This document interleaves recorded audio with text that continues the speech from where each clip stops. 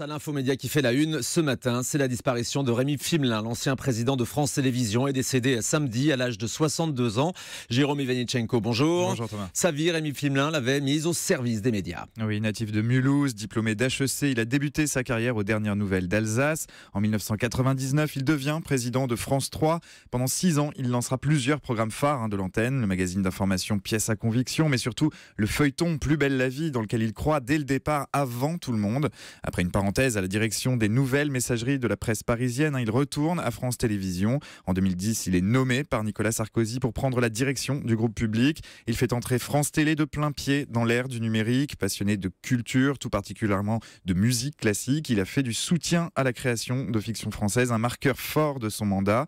L'an dernier, il était candidat à sa propre succession, mais le CSA l'avait écarté, en lui préférant la candidature de Delphine Ernotte. À l'été 2015, il avait été nommé au Conseil d'État. Rémi Plimelin s'est éteint samedi à l'hôpital parisien de la Pitié-Salpêtrière. Il était âgé de 62 ans. Et sa disparition soudaine a déclenché une avalanche de réactions. Oui, d'abord au plus haut niveau de l'État, François Hollande a reconnu à Rémi Flimelin un grand sens du dialogue et du compromis, tandis que Manuel Valls voyait en lui une grande figure des médias et de la culture. Samedi soir, sur le plateau du journal de 20h de France 2, Delphine Ernotte, la présidente de France Télévisions, a tenu à saluer la mémoire de son prédécesseur. Je suis bouleversée ce soir parce que euh, durant euh, ces derniers mois, j'ai appris à connaître l'homme. Euh, son sens aigu de l'intérêt général, sa très grande élégance. Et je peux dire que j'ai pour lui à la fois du respect et de l'affection. Et je voudrais dire que tout Français Vision pense ce soir à ses proches, à sa famille. Et si j'en juge aux réactions de tous les médias, à, à tous ses amis, hommes et femmes de médias. Alors tout le week-end, des personnalités du monde de l'audiovisuel ont apporté leur témoignage, soulignant bien souvent la très grande discrétion de Rémi Plumelin, son élégance aussi.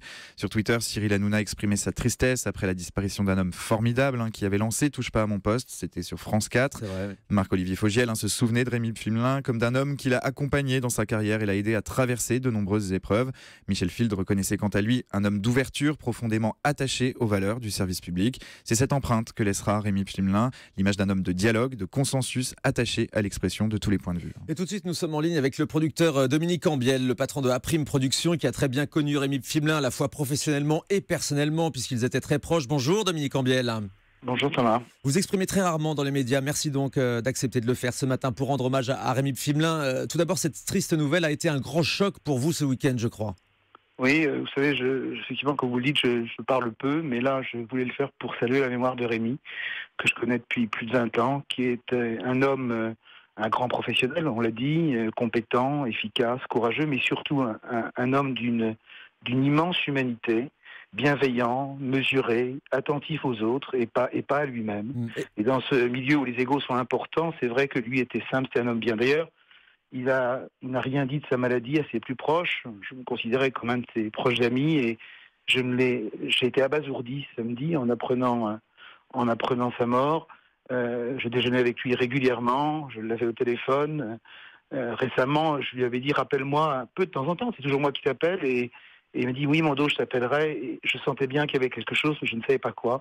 Il était d'un courage, d'une élégance, comme l'a dit Delphine Ernotte, et d'une discrétion à toute épreuve. Ça, c'était finalement un homme très discret. Vous n'étiez pas au courant de sa maladie Pas du tout, pas du tout. Je l'avais trouvé mince l'été dernier, mais je mettais ça sur le compte, euh, je sais pas, d'une, euh, au contraire, d'un effort personnel. Euh, et, mais, mais vraiment, je n'imaginais pas une seconde. Il, il, était malade depuis, je l'ai su hier, depuis plus d'un an, depuis octobre dernier. il s'est battu courageusement.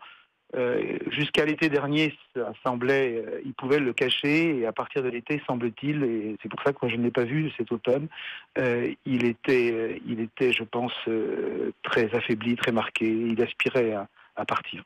Quelle empreinte va-t-il laisser dans les médias? On lui doit Plus belle la vie, on l'a rappelé, de nombreux autres programmes aussi qui ont marqué les téléspectateurs.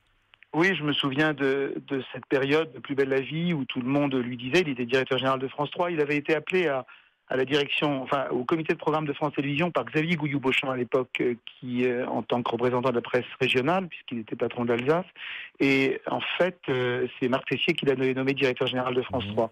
Et à l'époque, la plupart des gens, voyant les audiences catastrophiques de Plus belle la vie, les trois premiers mois de, cet automne-là, lui disaient il faut changer, il faut changer, et il a tenu bon. Et je lui disais, je me souviens de conversation avec lui, je lui disais, tu sais, j'étais totalement désintéressé, c'était pas un programme que je produisais. Mais tu sais, si tu ne tiens pas, tu vas condamner la fiction quotidienne française, euh, fiction industrielle, pour longtemps, pour des années encore. Et il a tenu, il a réussi, puisqu'aujourd'hui, Plus belle la vie est encore une marque très forte. Et on voit aujourd'hui effectivement le succès de Plus belle la vie. Merci beaucoup Dominique Ambiel d'avoir réagi ce matin sur Europe 1. Voilà ce qu'on pouvait dire sur la disparition de Rémi Fimelin, décédé ce week-end à l'âge de 62 ans. Ses obsèques auront lieu prochainement à Mulhouse. À suivre notre zapping.